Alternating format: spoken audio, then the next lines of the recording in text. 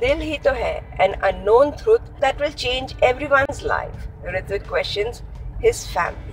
It seems that the situation is becoming more complicated for Ritwik and Palak to survive in Sony TV's daily soap Dil Hi To Hai.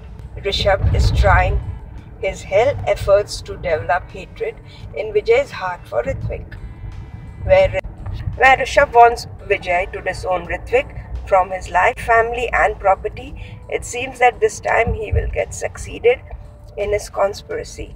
And the drastic storm hits everyone when Ritwik confronts Vijay and family, his wife, his, wife Palak, and making her wait for the whole day and night just to take the company's file.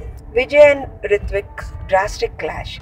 The audience will get to see a drastic clash between Ritwik and Vijay where Ritwik will expose Rishabh's evil deeds before the family, Vijay will burst at him for taking Palak's side against his family.